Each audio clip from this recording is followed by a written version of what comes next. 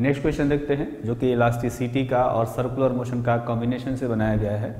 ये जो क्वेश्चन है, इसमें कहा गया body of mass M is equal to ten K G is attached to one end of a wire of length 0.3 metre the maximum angular speed with which it can be rotated about its other end in space station is having breaking stress of the wire is 4.8 into 10 power 7 Newton per meter square and area of cross section of the wire is 10 power minus 2 centimetre square तो इसको समझाने के लिए मैंने एक diagram बनाया है।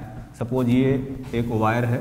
इसका मास जो है नेग्लेजिबल है। इसलिए क्योंकि इसमें मास दिया नहीं गया है तो अपने पास और कोई दूसरा ऑप्शन है नहीं कि मास इसका लेंगे, है ना? तो इसको मासलेस मानकर चलेंगे। और ये जो पार्टिकल है, इसका मास दिया गया है टेन के ठीक? तो चूँकि ये सर्कुलर मोशन कर रहा है, ये वाला एंड हिंज है, यहाँ पर इसके अबाउट ये घूम रहा है। तो ये सर्कुलर मोशन कर रहा होगा तो इसके पास सेंट्रीपेटल फोर्स आना चाहिए। यहाँ पर एक टेंशन आएगा। टेंशन की वजह से सेंट्रीपेटल फोर्स यही है टेंशन इसको लिख सकते हैं mass into centripetal acceleration mass centripetal acceleration होता है ओमेगा स्क्वायर आर आर के जगह पर ये एल आएगा, क्योंकि एल रेडियस के सर्किल में ये घूम रहा होगा। ठीक? ये तो यहाँ पर टेंशन होगा, यहाँ पर। है ना? यहाँ पर जो है, वो टेंशन होगा मैक्सिमम टेंशन अगर ये टूटेगा भी तो यहाँ से टूटेगा। ठीक है? तो यहाँ से लेकर यहाँ तक हालाँकि सेम टेंशन माना जाना चाहिए, क्योंकि इसका जो मास है, वो हम लोग निगलेक्ट कर रहे हैं।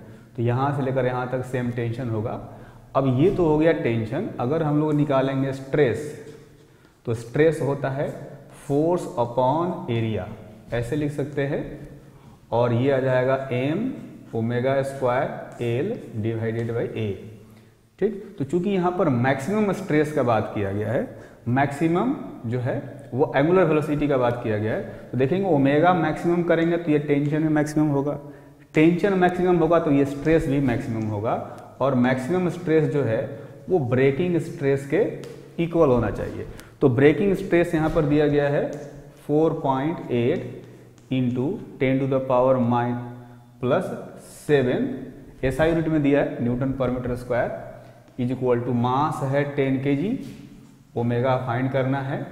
लेंथ दिया गया है 0.3 मीटर और एरिया क्रॉस सेक्शन है 10 to the power minus two centimetre square है। मैं इसको मीटर स्क्वायर में कन्वर्ट करूँगा तो 10 पर माइनस फोर से मल्टीप्लाई करना पड़ेगा। ठीक? इसको आप सोल्व करेंगे।